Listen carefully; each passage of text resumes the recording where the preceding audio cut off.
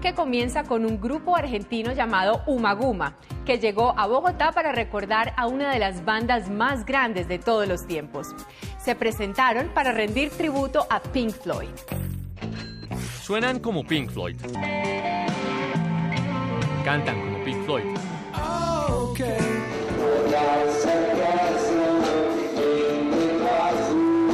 Y van por el mundo rindiéndole tributo a la banda londinense que hizo del rock psicodelia y viceversa. Es difícil lograr, sí, los climas y todo eso, pero bueno, con esfuerzo y trabajo creo que de a poco nos vamos acercando cada vez más. Son argentinos, se llaman Umaguma, nombre de uno de los discos de Floyd, y montaron en Bogotá un espectáculo idéntico al de la banda inglesa. Muy interesante el juego de luces, la puesta en escena de, de luces, eh, los videos que acompañan los temas y por supuesto lo musical. Respetan fielmente el trabajo de Roger Waters y los suyos y tienen bien claro que lo de ellos es un tributo y no una imitación. Quizás por eso logran llenar todos los lugares a donde llegan a tocar y hacen que propios y extraños retrocedan en el tiempo a los años de Pink Floyd. Eso de que las cosas llegan volando cada vez es menos ficción. Si no, vean ustedes mismos cómo llega el pedido a la mesa de este restaurante. Si usted es uno de los que vive de afán y quiere que en un restaurante su pedido le llegue volando, el restaurante Sushi Yo en Londres es el indicado, pues las órdenes las entregan literalmente volando y a 40 kilómetros por hora. Gracias a iTry, una bandeja voladora donde los cocineros ponen el pedido y velozmente lo llevan a la mesa volando, dirigida a través de una aplicación en el iPad.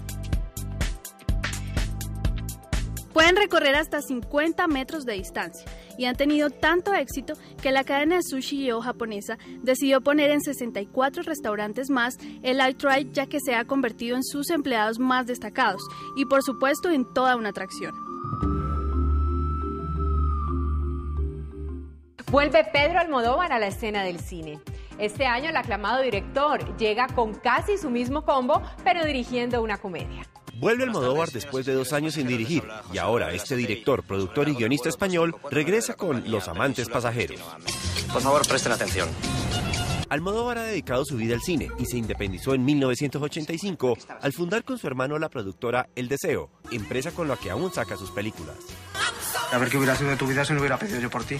Su éxito internacional lo representa la obtención de los premios Goya y César y ganar festivales como Cannes, David de Donatello e incluso en 1987 el de Bogotá con La Ley del Deseo. Se codea con el Oscar desde 1988, cuando fue nominado por Mujeres al borde de un ataque de nervios, y lo obtuvo dos veces, en 1999 con Todo sobre mi madre y en 2002 con Hable con ella. Los amantes pasajeros es una nueva comedia con ese particular tono que imprime Almodóvar en sus cintas y que seguramente divertirá. Rock and Roll, la canción de Avril Lavigne, crece como espuma en listados, discotecas y ahora en redes sociales. Hace menos de 72 horas salió su nuevo video y gracias a un apasionado beso, ahora el tema es el más visto en internet.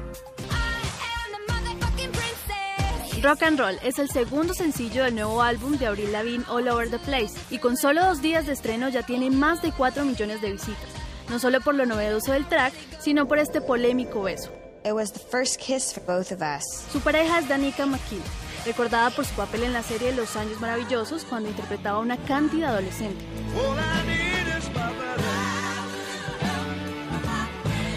Nada parecida a la actual ni a Lavigne, que no se caracteriza por esos comportamientos. Al parecer todo se trata de una estrategia comercial con mucho éxito, pues un nuevo álbum All Over the Place saldrá a la venta en septiembre. Uruguay será el país invitado del próximo Festival de Teatro de Manizales que comienza en pocos días en esa ciudad.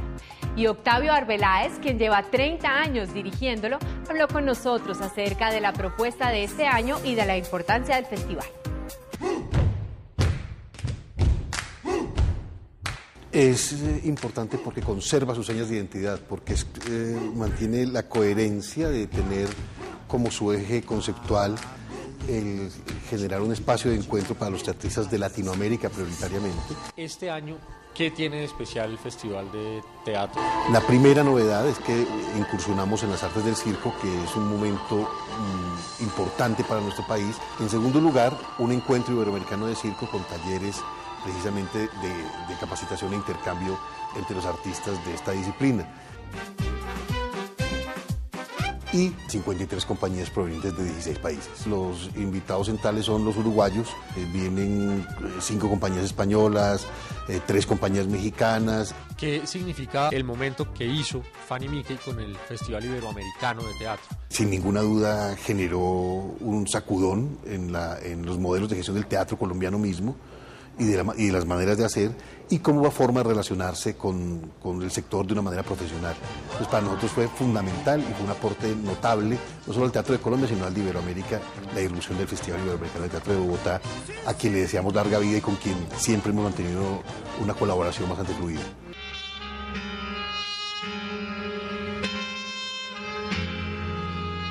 Pues me gustaría mucho que la gente del país volviera a acudir al festival. Empieza el 30 de agosto y termina el 8 de septiembre. Y realmente en este momento no somos ni los más grandes, ni, o sea, no, yo, dejé de comparar tamaños a los 14 años, pero sí somos los más divertidos. Van a disfrutar de 8 días de teatro y de encuentro con un abrazo permanente de, la, de los manizaleños hacia todo aquel que acude allí.